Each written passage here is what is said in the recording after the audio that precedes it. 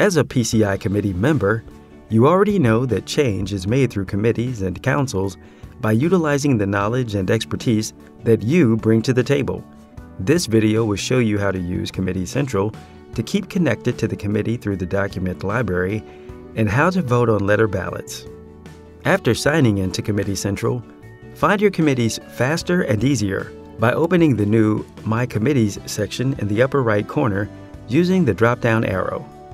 All of the councils and committees that you're a member of will be shown on the right. Select the committee you want to access. Scroll to the Work Folders PCI section to view the meeting agendas, approved and unapproved minutes, draft documents, committee correspondence, and new business folders. Click the plus sign to open a folder. Meeting minutes and agenda folders are listed by the date of the meeting with the newest on top. Click the plus sign on a subfolder to view the documents.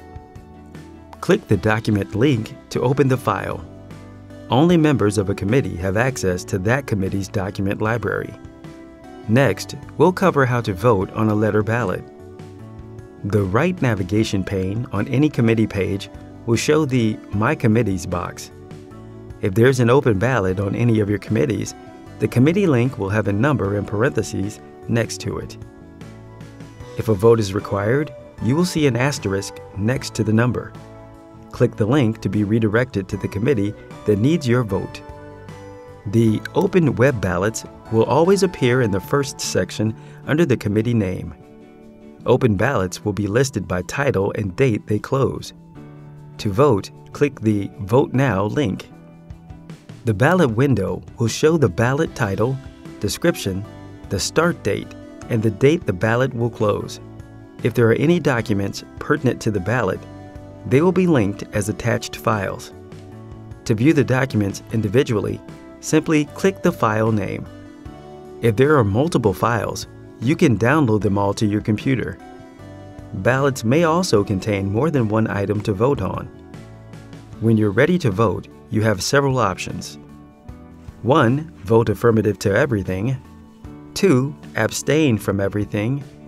Or 3. Vote on ballot items individually. To vote on items individually, click the link in the yellow box. Click a radio button to cast your vote for this item. Add your comments for each item and attach files if appropriate to back up your comments.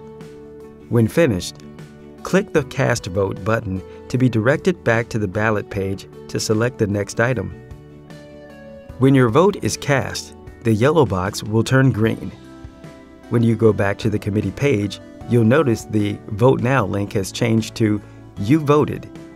You can edit your vote at any time until the ballot closes by clicking the You Voted link. Congratulations on successfully voting on a committee ballot. Find more instructional videos on the PCI Member Resources page and PCI YouTube channel.